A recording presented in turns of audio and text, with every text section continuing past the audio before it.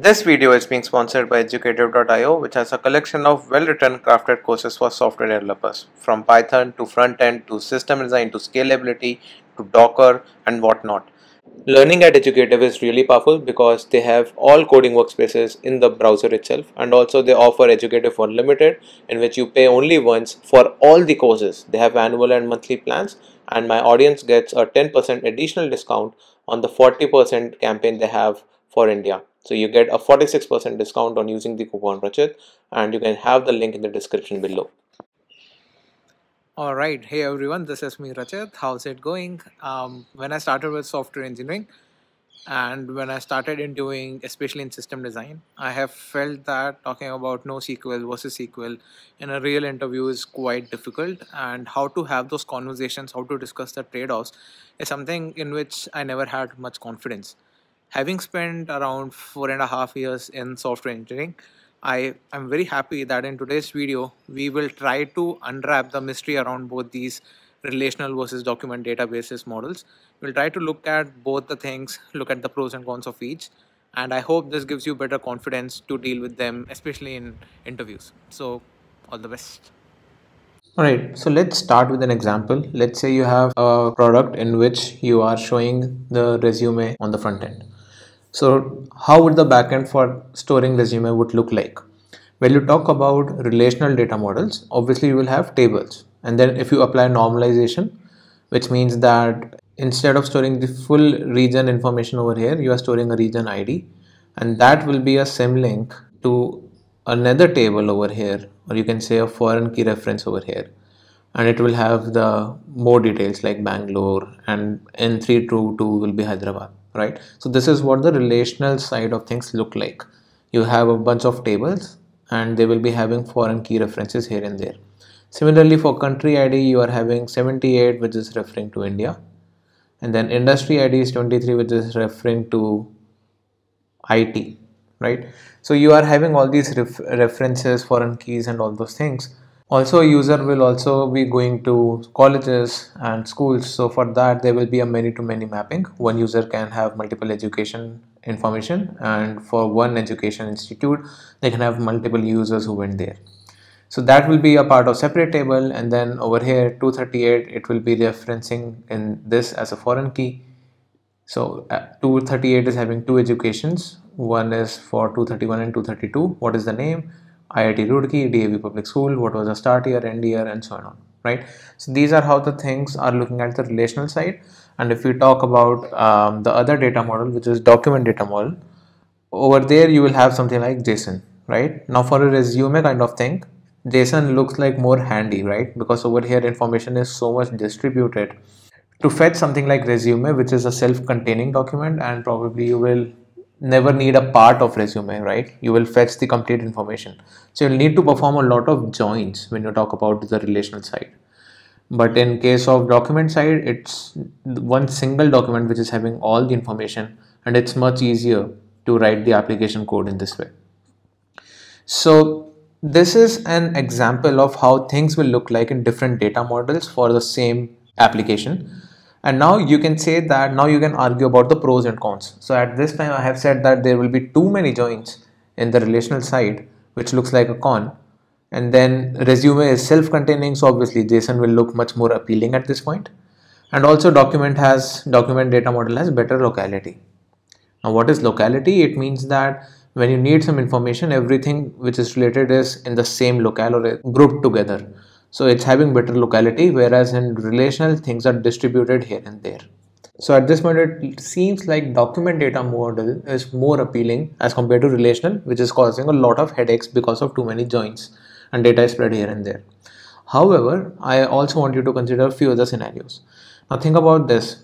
If you talk about education, as I have said, there are many to many relationships. One user can go to multiple institutes and this institute can have multiple users, right? So if you talk about JSON, right, in that case, education can have obviously start and end date. This can be stored in the JSON. But if you start storing institution name as something like this, does this really make sense? Let's say there are 100 of students in University of Queensland. So there will be 100 resumes of 100 people and then everyone will be having education section with their own start and end date and the institution name as this, right? So this is a bad idea. Why? Because let's say if you want to talk about an example where we also want to start showing more information about the institution. When the when you're talking about the front end app, normally LinkedIn is something which looks like this. I am having my education section. I'm having two institutes. One is IIT Roorkee, one is DAV Public School, and I'm having their logos, right? I'm having their logos. Also, if I click on this, I get the home page. So I also need to store the URL in the institute, and then I have much more information about uh, a short bio of the institute itself, and then some headline, right? So we have a bunch of things that we can do as the app evolves. At that point of time, if you talk about the document data model, now it was making sense that it was self-containing. However, if you just store a string, it's not enough. Otherwise, you will now also start storing logo. Then you will start storing headline, bio, and all those things. And this will be something which you will repeat across 100 JSON files, right? 100 of documents will be having the same information, which will take more space, first of all. And also think about the case in which you are facing a lot of typos. So in some document models, the University of Queensland is something like this. In some, it's written in uppercase, so it will be the university, something like this, right?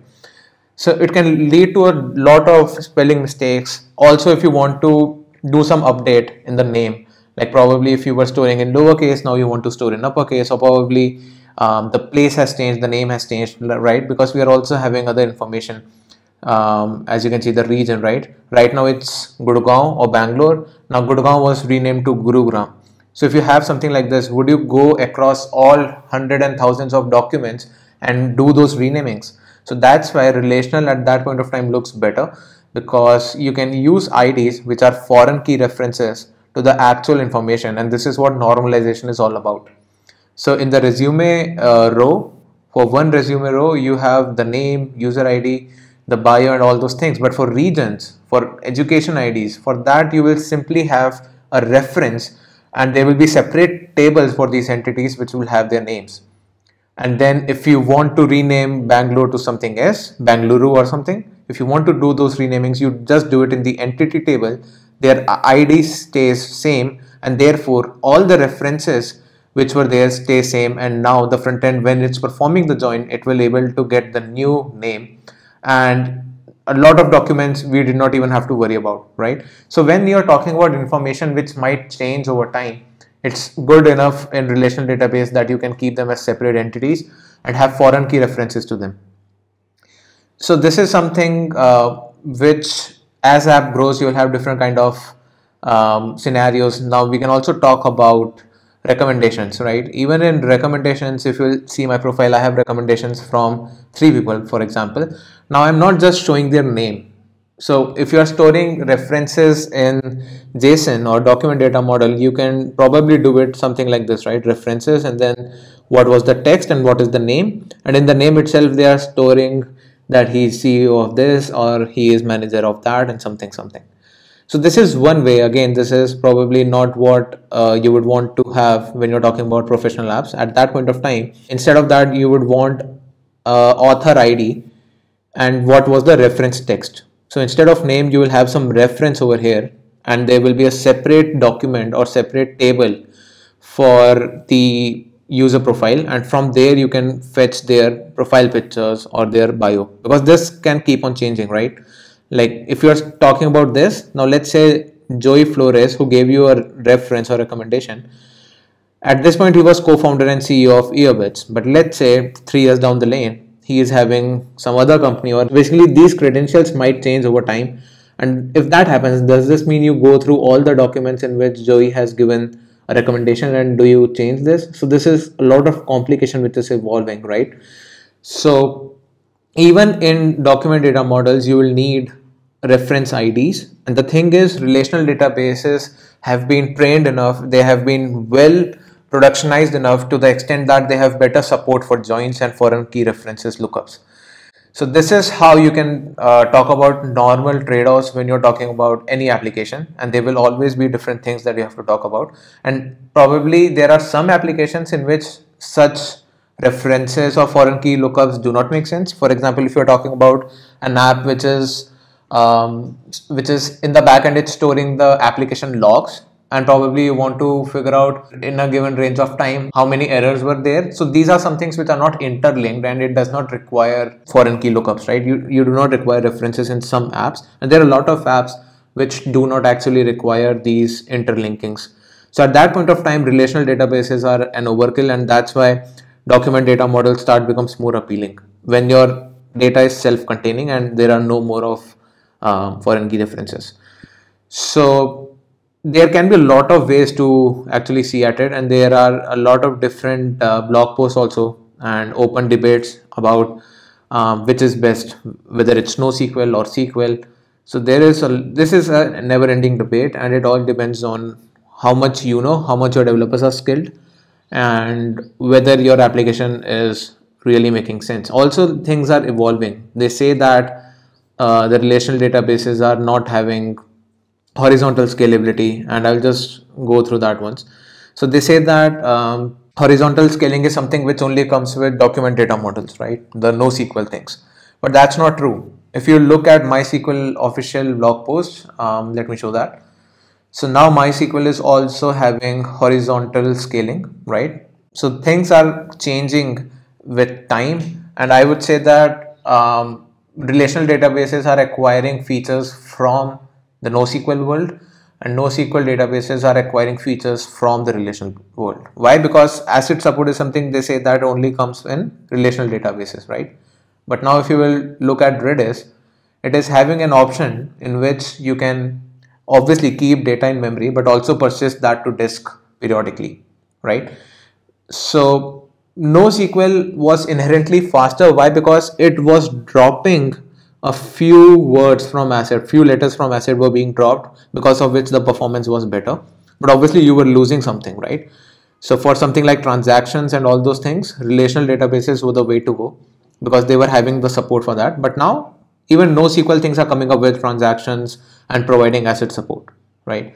So Redis, I'm not saying that it provides complete ACID support, but what I'm trying to say is, uh, if you talk about durability, right, which is durability or the D in ACID stands for durability, which is about um, if some data has been written, then if you try to open the app next time, it's still there, right? So generally, if you talk about in-memory databases, if they have not persisted that information to disk and power failure occurs, if you now open the app, that information was lost. But Redis is having an optional feature in which you can start persisting the in-memory data to disk so that the durability starts coming into picture. So as I'm saying, the world is changing, time is changing, and I believe um, the mix of NoSQL and SQL is really something that's happening. And if you talk about Google Spanner, I mean Google Spanner, it is a relational database, but again, um, it's also supporting horizontal scaling. Also, as uh, another point, I want to mention that migration to NoSQL is not worth it. It's worth the hype, but again, if you talk about companies or organizations which were built on relational databases they are not directly migrating to NoSQL. It might happen that certain apps or certain features in an organization make sense to use NoSQL and they are being written from scratch. So you can obviously make a choice to go with relational or document data model from the beginning. But if you already have a working app, for if, example, if you talk about Google AdWords, if I'll open the Wikipedia page, Google AdWords, now think about how many searches are happening in Google. It's a very data intensive application, but it's using relational databases, right?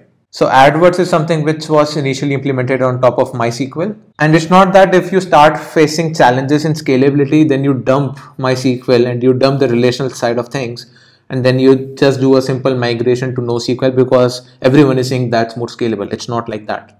So that's not exactly true. And that's not feasible. Why? Because doing a migration of a massive application is a too much investment uh, of your developers. It's going to take too much time and also if your developers were trained on relational databases, they might not even know a lot of hiccups and caveats that NoSQL databases come with.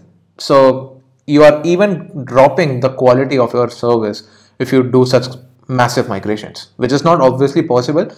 The better way to look at it is actually figure out why you are facing the scalability issue and then work towards them So that's what exactly Google did. Instead of dumping MySQL and going to something like MongoDB, they actually developed their custom distributed relational database management system, which is Google F1 now.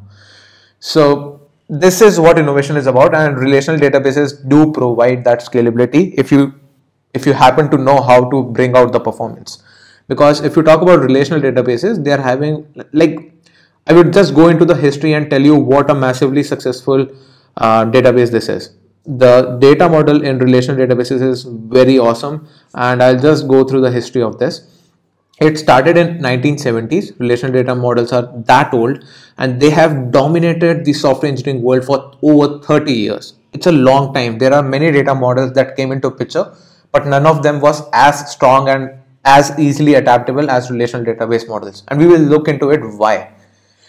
Okay so relational databases were originally for business data processing but they were able to serve diverse purposes like social networking, e-commerce, games, a lot of requirements were easily adaptable in relational model and that's why they were a massive success.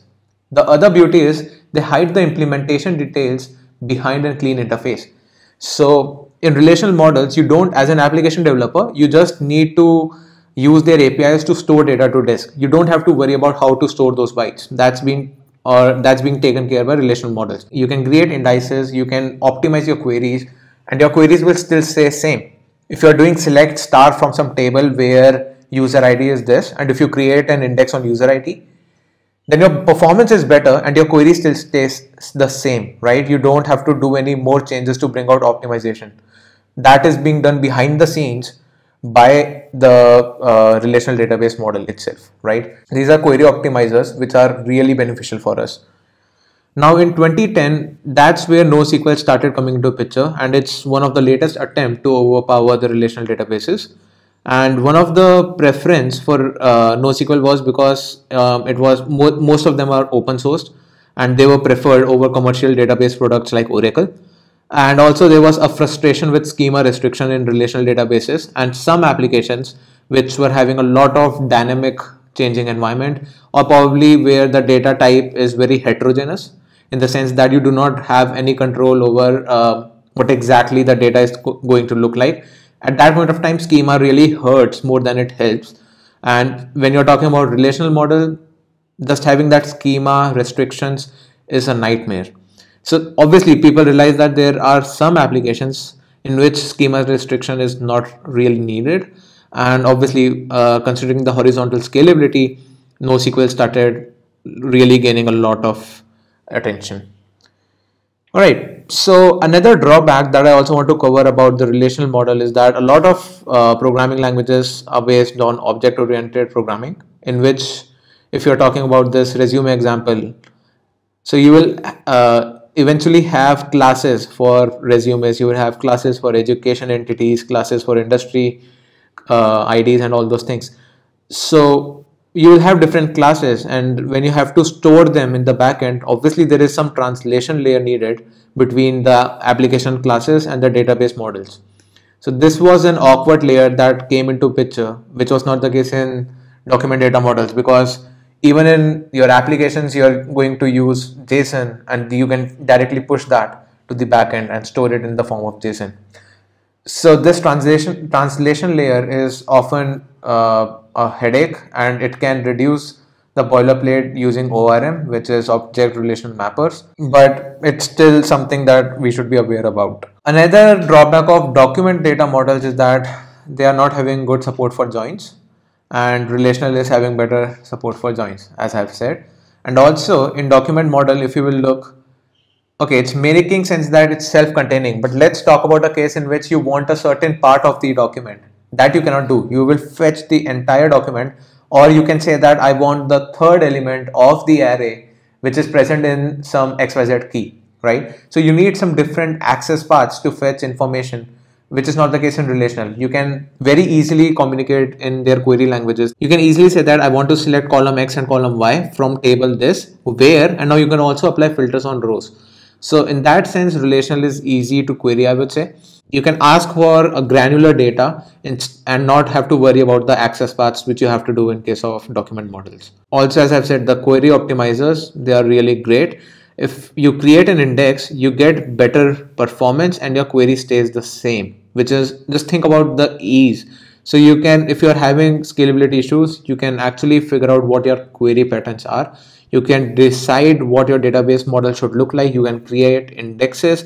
And the best thing is your queries will still stay the same. So it's very easy to use. You can drive performance if you create indices correctly with giving it a lot of thought. Also we can compare relational and document models in based of their fault tolerance how they handle concurrencies.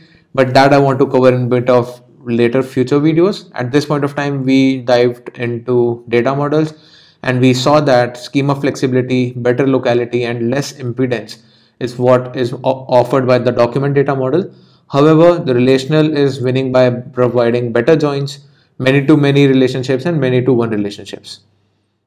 So if your data is document based, uh, something like resume with not of so much of advanced features like education profile, institute profile and all those things. So if that's not the case. And if your data is self-containing, actually breaking that down into multiple tables will lead to complicated code. So you should at that point of time use document models. But if you are having many to many relationships then relational is really good because you have joins by application code. They will make your application code more complex because you will be fetching the documents you will be finding their IDs then you will be fetching another document. So you're doing all that in code which is making your code more complex and also relational is having query optimizers. So if you perform join in relational database versus if you're doing that in MongoDB, obviously MySQL and the relational databases will win because their query optimizers are much more evolved. But having said that, if you're having highly interconnected data for something like uh, Facebook friends, at that point of time, document model is very less appealing. Relational is better, but graph data models. It's again kind of in the NoSQL category, something like Neo4j. They become more uh, appealing and they are well designed for serving such purposes. So yeah, these are the different data models and an overview of how things look like, what are the trade-offs involved. And I also want to go through few scenarios like what happened when you change schemas. So it might happen that initially you were storing name and now as a business decision you want to split that into first name and last name. So if you want to do that uh, in case of document data models like MongoDB, what you can do is your application code can handle it very easily. In your application code, when you fetch the user from the document, you can check that if it's having user.name and there is no user.firstname, it means that this is an older data that you had stored and you can handle it accordingly. The new data can be stored in the MongoDB with the new format because there is no schema restrictions. So in the new uh, documents that you are uploading, there can be first name and last name and the older documents you need not change them, right? It will still work. But that's not the case in SQL or relational databases. Over there, you need to perform alter table. You need to drop one column which was name. You need to introduce two more columns, first name and last name. And then also you need to update every row, right? So schema changes and when your app is really dynamic and also the data is very heterogeneous, it's not making sense to have actually columns. So at that point of time, document model is really providing very ease for us and application code can handle that easily. So this is again a summary of exactly what I have said. You can have a look at it and I think I have covered everything that I wanted to. Uh, one thing that I also want to talk about is um, now as time is evolving, relational and NoSQL world they are merging. For example, Postgres allows you to have a data type called JSON in your column and you can directly store JSON in that. So you can do all those things and we are having those support in relational world also. Again, we are also allowing multi-value data to be stored in rows um, in relational world so things are changing with time and it's not very true that relational databases cannot scale horizontally. Another thing that I also want to mention over here is, and this is something which I really like is the NoSQL or document databases. You can say that the schema flexibility is there, but these are schema on read, similar to how Python and JavaScript are. And the relational world is similar to C++ or Java, I would say, and it is schema on write. What i mean by that is if you talk about languages like c++ right? If you declare a variable as integer you can no longer st store a string in it. It will just throw an error right? And this is how exactly what happens when you are doing a write in a database.